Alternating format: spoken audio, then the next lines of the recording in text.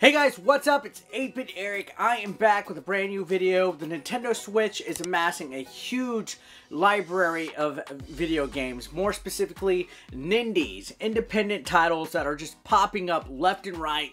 Tons of them. So many that it's actually becoming pretty hard to play them and review them in time. But I'm getting there. Today is going to be one of them. It is Neurovoider, a game that harkens back to the old school arcade style twin stick shooter gameplay mechanic that was popular at one time. Some of these games are very challenging and to add in RPG elements and rogue-like elements just brings it up a notch. Is Neurovoider something that commands that type of praise?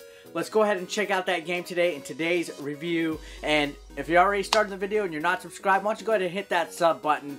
Let's begin the video.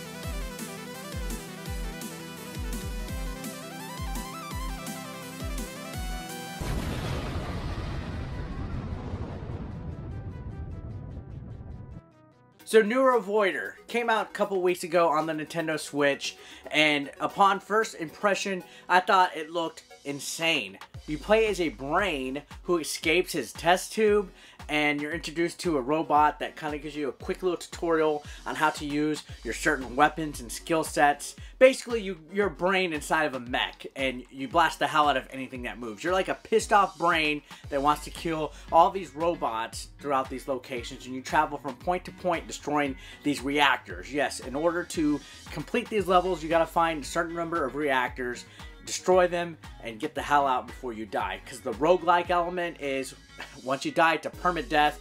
If you're on the last stage, the second to last stage, and you die, you're starting over on square one. You don't take anything with you, and there's a lot of things with Neurovoider. I was actually initially overwhelmed. There's a lot of options when it comes to upgrading your brain robot. Am I going to call it that? But I'm getting ahead of myself back to the core gameplay. It's a twin stick arcade-like shooter. You control your mech an above the view, kind of like Smash TV and all these other games that are coming out. You transverse this map. Each level is procedurally generated, and you have to look for the reactors. You use the left stick to move your robot, the right stick to aim, and then you have your weapons on the left and right shoulders. In addition to that, your robot is able to have two skills one that you select before the game starts and one that you pick afterwards. As you defeat enemies in the stage, which there are a ton, and there's a variety of enemies, they're all kind of robot wacky, some small little, I guess, roach-like robots that don't do too much harm, and then you'll run into some crazy big ones that'll just throw a whole bevy of bullets your way. Some of these drop items that in between the stages you're able to put on your robot to make new upgrades, new transports, new visors, new types of stuff to upgrade your robot skills. Now, there's three different robot sets that you can have. A Dash, a Fortress, and Rampage. Depending on which one you pick, is dependent on what kind of abilities your robots have. The Dash are the faster ones. Rampage, of course, obviously, go in and blow the hell out of everything. And Fortress are a little bit tougher than the other ones, but slower. Your first three initial upgrades dedicated towards the type of robot that you have. So you're going to be picking up useless upgrades, but don't worry, you're able to scrap these in order to, I guess, build up upgrades towards your other ones. Once you're able to scrap, you're able to boost your existing components to repair yourself or just totally upgrade your mech. There is a lot of stuff, and they have a lot of funny names too. There's like lubricant, beam of lubricant, and stuff like that. Lots of options. If you're into this type of stuff, it's going to be fun this is where the RPG fans might really enjoy this stuff. If you're still new to stuff like this, like myself, might be a little bit overwhelming at first. Now, weapon selection, there are a ton of weapons as well. It's not as robust as the upgrading for your skills, like your visors and all that.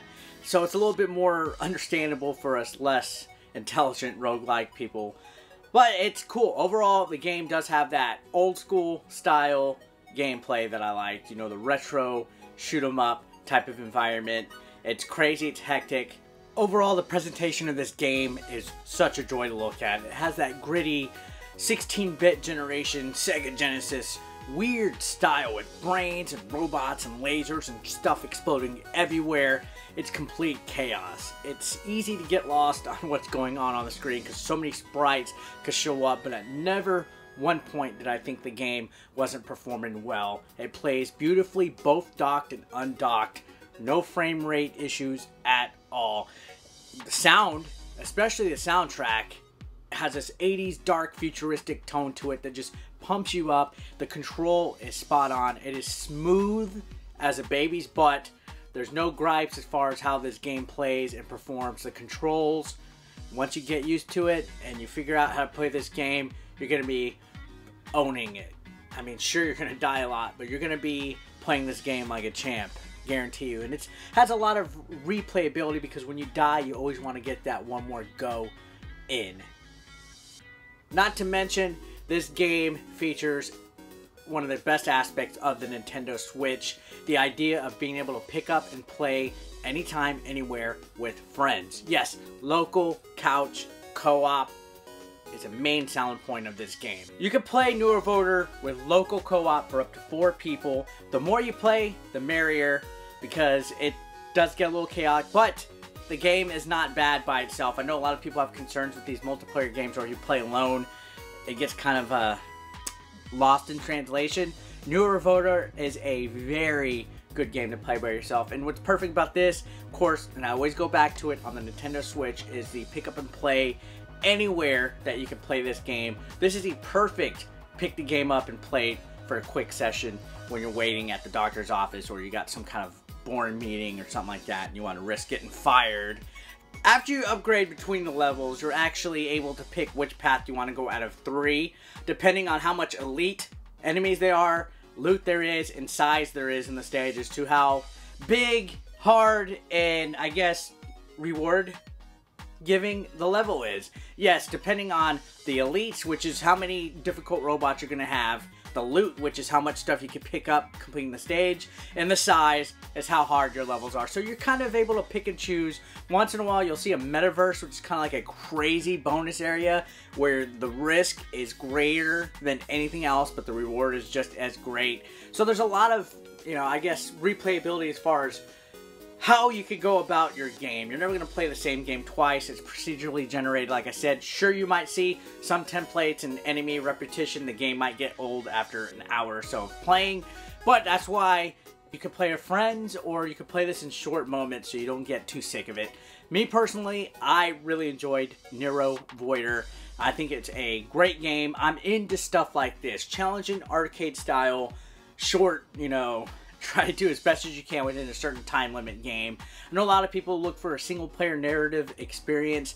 This is not there. There's not much as far as story goes other than the opening tutorial. It literally just throws you out there into the combat to figure it out on yourself. So Neurovoider, I'm going to go ahead and give it a 8 bit Eric out of 10. So an 8 out of 10. I highly recommend it. And guys, thanks a lot for watching. As always, don't forget to like, comment, and subscribe. I'll see you next video. Peace out.